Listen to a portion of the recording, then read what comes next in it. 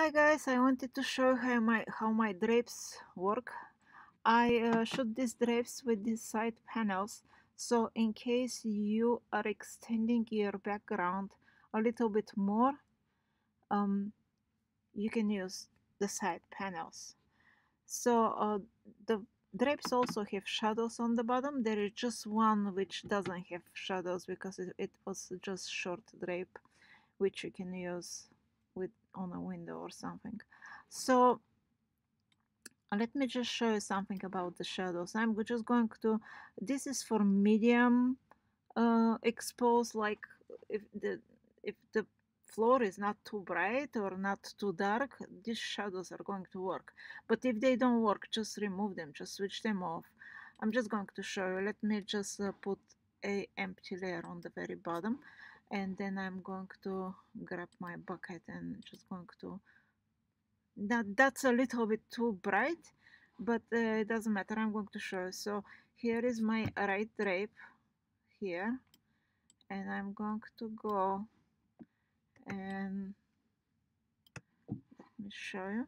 So if I open these drapes you're going to see that I'm on the right side now and I can drop it down and you can see the shadow is a little bit dark here at the shadows. You can always um, reduce the opacity or duplicate it or even remove it.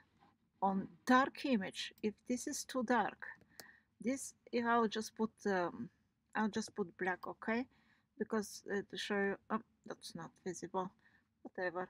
But you're going to see on too dark uh, it's going to look lighter you will have to remove it the shadows and um, just switch them off and make your own even if you use the shadows. I don't know I was trying to help to help and make it a little bit easier on you. Sorry about that.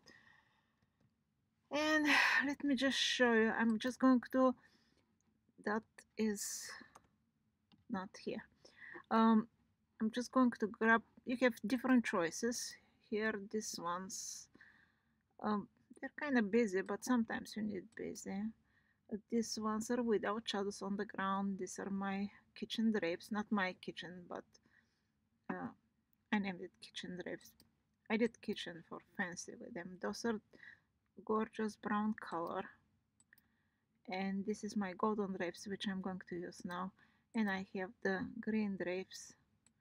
And oops and I have red velvet very traditional so let me grab the golden drapes and I'm going to grab my move tool making sure I highlight them because it may be visible but something else may be highlighted even oops it that can be highlighted. So make sure this is highlighted. Grab your move tool. V is for the move tool. And I'm going to grab this and bring it to this image. I'm not going to release uh, uh, into the title. I'm going to release into the image. Okay, now I can adjust them. So the shadows don't look that bad. Here we go. so I'm going to open this and I'm going to go to the left and I'm going to actually hold my shift uh, not to move up and down to move just to the side. And I don't think I need the paneling on the side but if you want to you can use the panel to extend your background more. Then I'm going to look on the right hold my shift not to move up and down to stay on the same line. And that looks pretty good.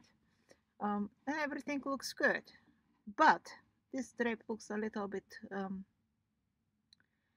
too colorful for some reason and uh, have to make them a little bit darker because we want to see the children better than the drapes.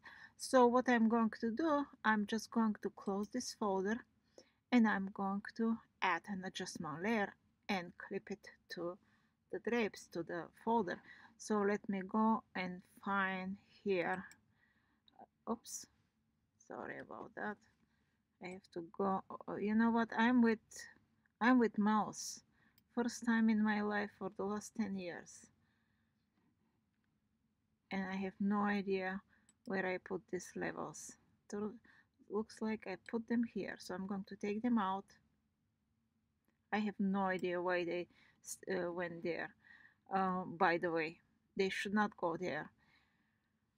But I have that's 2019 okay? So it does whatever they want so uh, the shortcut for attaching this to the folder is command option J command option G sorry but the other way is to click here and it's going to attach it to the drapes. So I'm going to make them darker. All of the sudden they became too colorful. Okay so I'm going to make them less colorful. I know how to fix it but I want to show how you can fix it.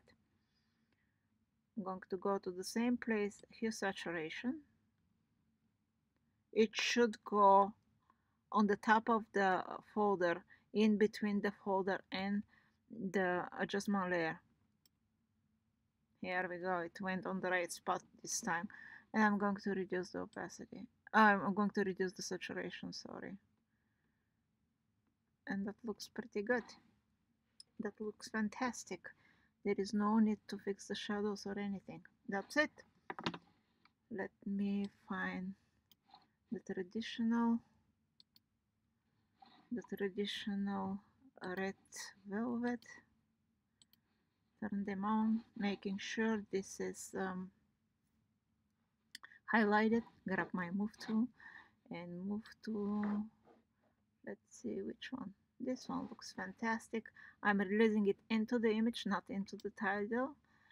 Oh, it then looks this is Erin image and Erin camera is smaller than mine. So um, mine drapes look too big. So we're going to fix that. Edit free transform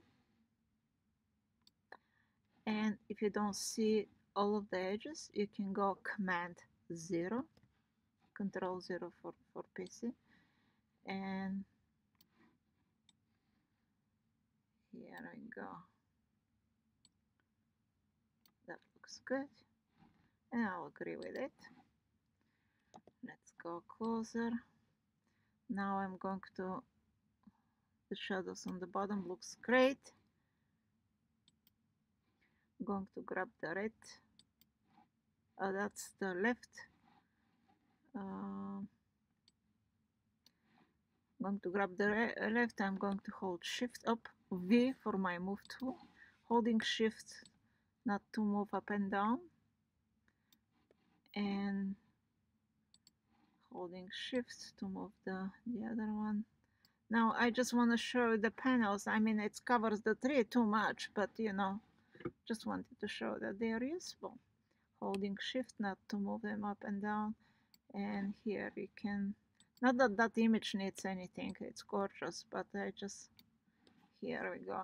And if you want to make them darker even though they're almost the same color you can as I show you I'm I will close this um, folder. And I am going to add when the folder is closed there is no reason the adjustment layer to go inside of the folder but it's okay. Uh, levels. And here is the levels on the top. You can do uh, create clipping mask with the right click which is going to do the same. Make it darker. If you need to I don't I didn't need to but that's it. Thank you very much